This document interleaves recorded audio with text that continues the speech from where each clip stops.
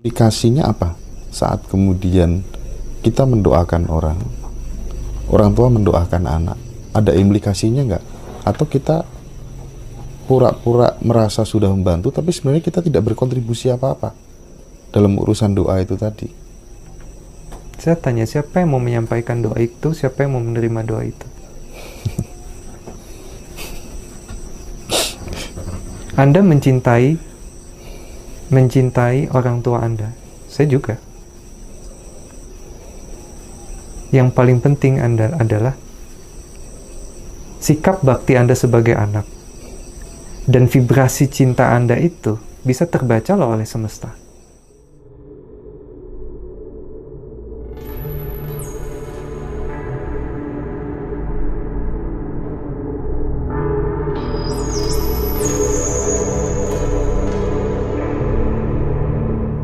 Kenapa sih fenomena melihat ini, bersaksi ini menjadi susah?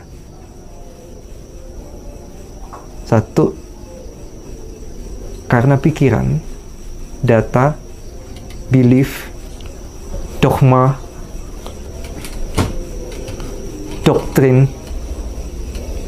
karena itu semua. Pikiran, belief, dogma, doktrin. Cobalah Anda seperti anak kecil Abah pernah mencontohkan kan? Di sesi yang mungkin gak direkam. Mas, kalau kamu perhatikan bayi, kita bayi lah. Ketika keluar dari rahim ibu pertama kali se seorang bayi menyikapi puting susu seorang ibu. Bagaimana kepolosannya, bagaimana dengan nalurinya menyikapi puting susu seorang ibu. Naluri berjalan. Bagaimana rasanya bahagianya ketika dia bisa bersentuhan dengan ibunya dan sang ibu pun sebegitu tumpah dalam kebahagiaan. Itu meditasi. Meditasi sudah ada dalam diri kita semua. Tapi ketika ada data pikiran sudah kita sudah besar, kita sudah belanjak dewasa sekarang kita ini ya beda lagi menyikapi puting susu. Kalau ada puting susu di depan kita kan kita beda lagi menyikapinya dengan berbagai macam data dan pikiran. So bisakah kita kembali lagi ke, ke, ke kualitas meditatif saat kita bayi? Makanya Abah bicara meditat med, meditatif itu kodrat kita yang sudah ada. Hanya saja terblokir oleh pikiran dogma belief terblokir oleh itu. Jadi kalau ada orang meditasi sambil zikir doa-doa atau doa-doa dengan ismu apa pun saya menolaknya keras-keras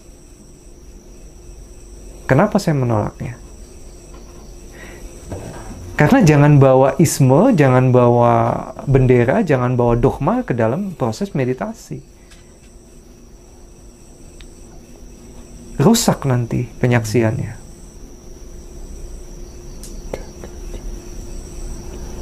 Dan bahasa itu selalu menciptakan jarak, Mas Hendra.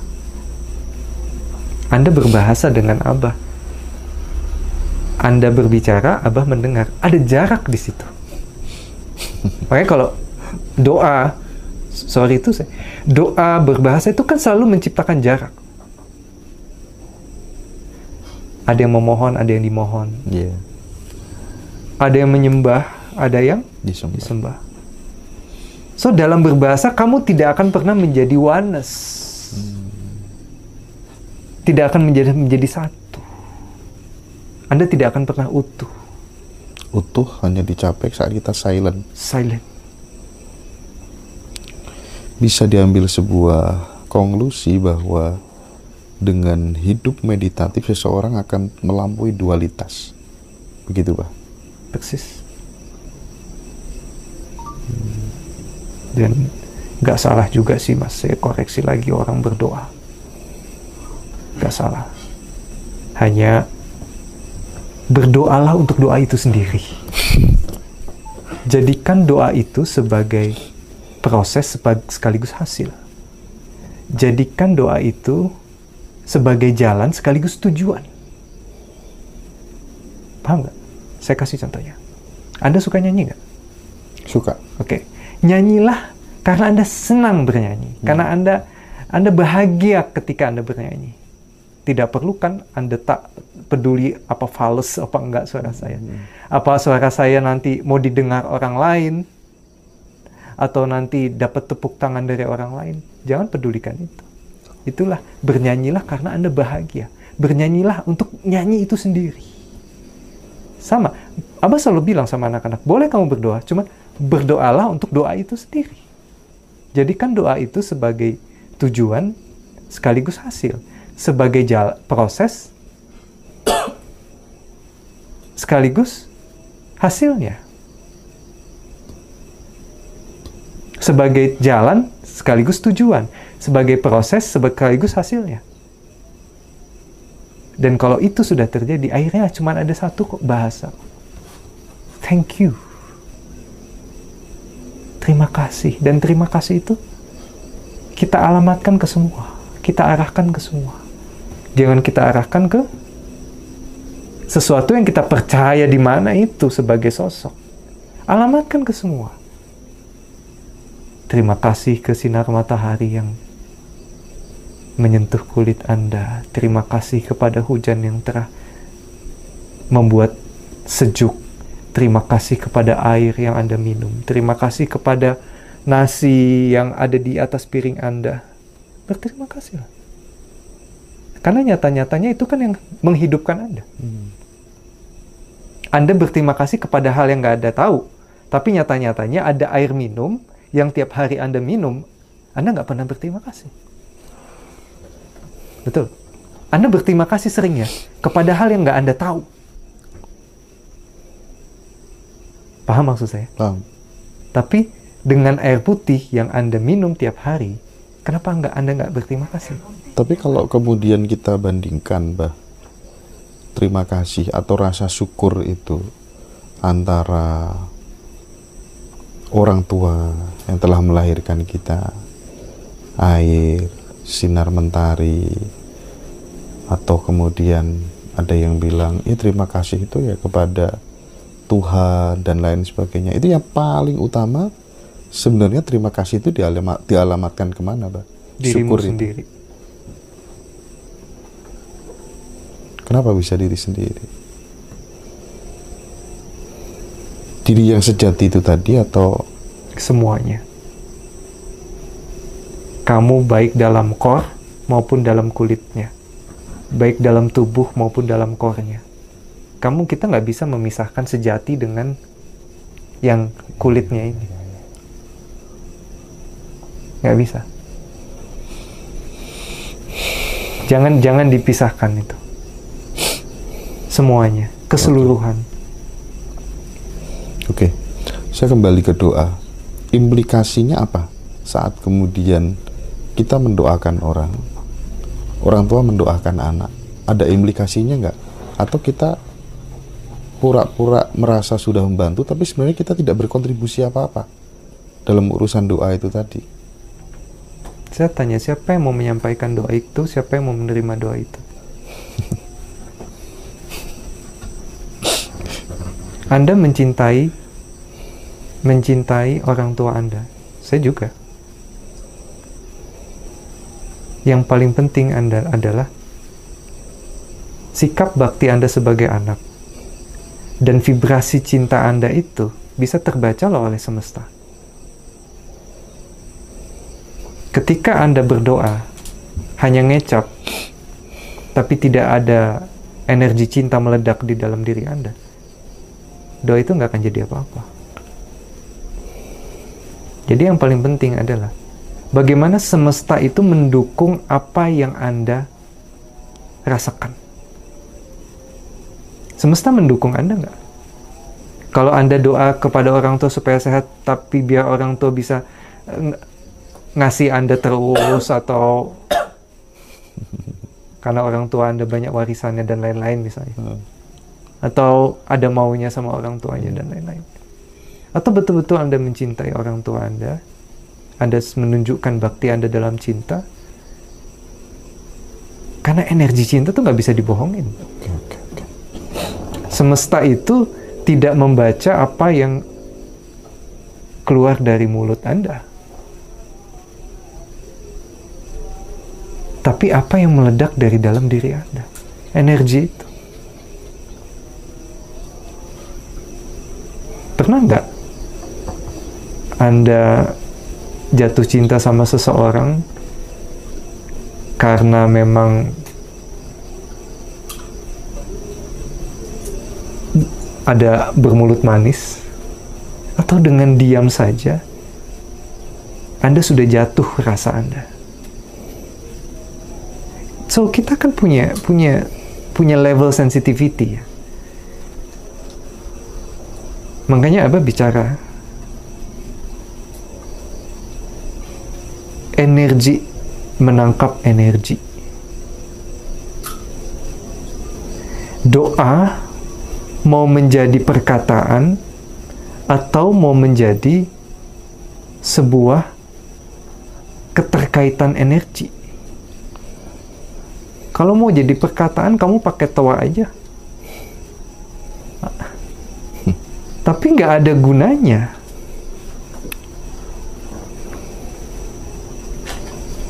Anda berharap orang tua Anda sehat, bahagia. Tapi Anda sendiri semrawut. Mungkin nggak? Tidak mungkin. Anda tidak boleh semrawut. Anda harus ada dalam kondisi energi yang baik untuk mendoakan orang lain. Dengan tenang, tanpa kesedihan, dengan kebahagiaan. Kan Anda mau berbagi kebahagiaan. Pastinya kan. Anda mau berbagi kebahagiaan dengan orang yang Anda kasihi. Semesta mau menyampaikan apa dari diri Anda? Semesta mendukung Anda tidak? Kalau Anda yang punya hanya uh, kedengkian, yang punya hanya kekal kekacauan, kekalutan, does it work? Enggak. Coba aja. Apakah itu juga berlaku terhadap orang-orang tua kita yang sudah meninggal, Bah? Jadi misal saya ngasih nih nasi bungkus ke Abah. Ini Bah nasi bungkus. Oke Mas Hendra saya terima. Ada wujud penerimaannya. Kalau orang mati kita kirimin doa, cara mereka menerima gimana?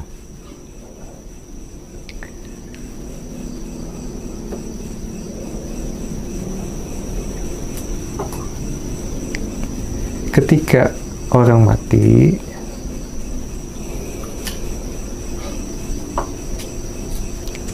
Mas kita nih hidup punya bangunan ya.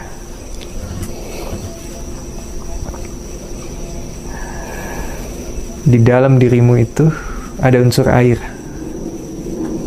ada unsur tanah, ada unsur api, ada unsur udara.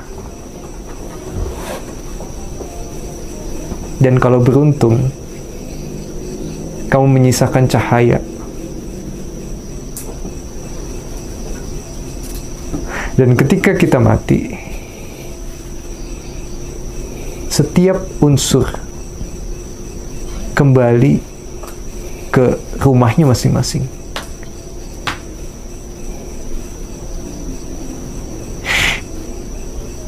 Seberapa api uh, air kembali ke, kepada air,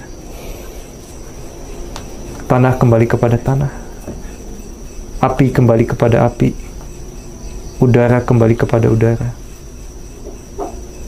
Dan Anda menyisakan satu unsur. Cahaya. Nur. Nur Muhammad itu. Seberapa besar ledakan Nur Muhammad itu? Nah, ketika Nur Muhammad itu meledak di dalam dirimu, otomatis energi-energi di luar diri kita akan mendekat kepada nur Muhammad kita. Dan di situlah peranmu. Kalau kita menyampaikan kasih sayang, aku rindu kepada Bapak, Ayah. Semoga Bapak, Ayah, Ibu bahagia. Tapi kamu nggak punya ledakan itu. Kamu nggak bisa membantu apa pun. Karena yang mereka butuhkan bukan kata-kata yang keluar dari mulut. Sudah nggak ada gunanya kata-kata yang keluar dari mulut. Instead of kamu bisa mengawal perjalanannya dengan nur Muhammadmu. Menjadi cahaya untuk energi-energi yang membutuhkan. Dan ledakan itu hanya bisa terjadi kalau Anda masih hidup. Kalau Anda sudah mati, Anda akan menumpang kepada cahaya yang lain. Anda tidak bisa. Sudah terlambat, sudah too late.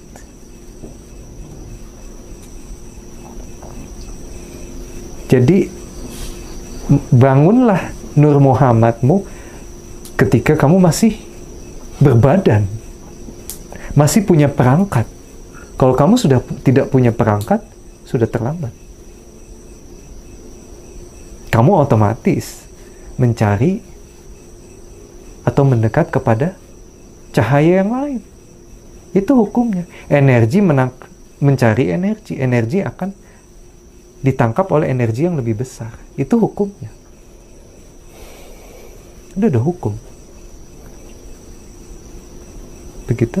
Konsekuensi logisnya saat kemudian kita bisa memancarkan sebuah ledakan dan vibrasi cinta yang luar biasa kepada almarhum orang yang sudah mati apa apa bisa diperjelas tadi yang bisa dirasakan orang yang sudah tiada itu tadi Saya tanya ya Mas Hendra dulu ya, biar nggak ngantuk. Mm-mm. Pernah nggak mendampingi orang meninggal di sisimu? pernah Berapa orang? dua mungkin ya Tambah ya, kalau bisa 10 orang. Harus dapat pengalaman seperti itu. Anda akan tahu momen-momen bagaimana lepasnya nafas terakhir itu. Saya selalu begitu sama anak-anak. Kalau bisa ada orang sakaratul maut, dampingi. Amati. Tuntun. Di tangan saya sudah banyak mati di sini. Baik di telepon maupun di sini. So, kita akan tahu. Jadi kita nggak ngomong berdasar dengan ini, tapi karena kita betul-betul mengalami bahwa mereka membutuhkan sangat-sangat membutuhkan energi orang yang masih hidup. sebentar sebentar cara menuntunnya gimana Yang pasti bukan dengan berkata-kata. hmm. Karena Nur Muhammad tuh punya kecerdasan sendiri.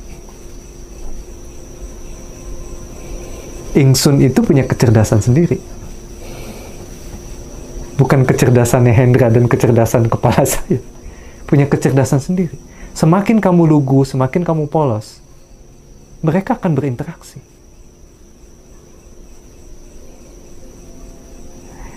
Memangnya begini Allahu Akbar atau misalnya saya saya kalau kalau kalau saya ada buka ingsun namanya. Saya buka ingsun kepada kepada anak-anak. Itu nanti akan bergerak. Tangannya bergerak, pengurasan, emosi, keluar semua tangan ber- ketika itu selesai tangan akan bergerak semua